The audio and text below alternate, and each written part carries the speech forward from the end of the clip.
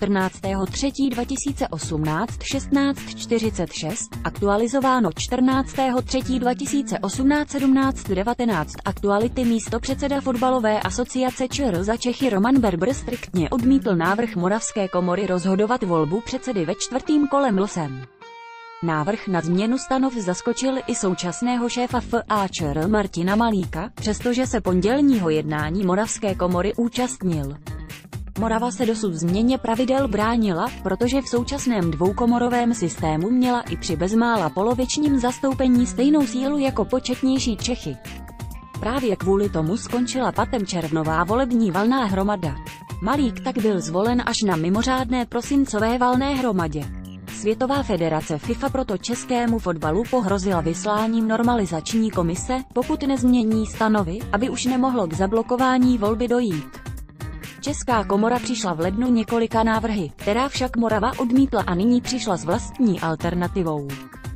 Budeme navrhovat, aby volba předsedy byla ve stanovách rozšířena o čtvrté kolo, ve kterém by rozhodoval uvedl v tiskové zprávě Zdeněk Zlámal, první místo předseda FAČR za Moravu.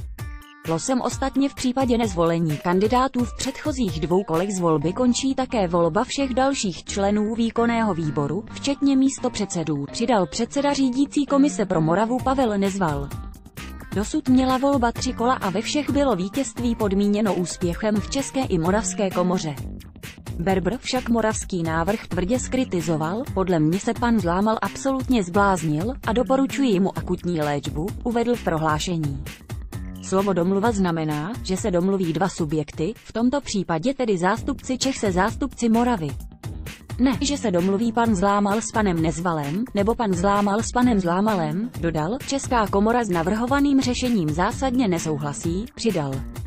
Jestli tomu dobře rozumím, tak Morava navrhuje, a teď dám příklad, ve třetí kole volby bude mít jeden kandidát 150 a druhý 50 hlasů, co se může stát, ve čtvrtém kole budeme rozhodovat o předsedovi cvrnkáním korunou, opravdu inteligentní řešení, prohlásil. Morava o návrhu rozhodla na pondělním jednání v Olomouci, kterého se účastnil i Malík. Předseda FAČR však odmítl, že by na schůzce byl návrh o losu schválen, zúčastnění byli podle něj pouze informování o průběhu dosavadního jednání obou komor. Z mé strany byli přítomní opakovaně informováni o nutnosti kroku změny stanov. Mrzí mě, že přestože jsem v pondělí na všechny apeloval, abychom jednali mezi sebou, čelní moravští představitelé svými neuváženými mediálními výroky dál eskalují napětí, řekl Malík. Moravská komora na pondělním jednání také potvrdila mandát vyjednávací skupině o změně stanov v čele se Zlámalem.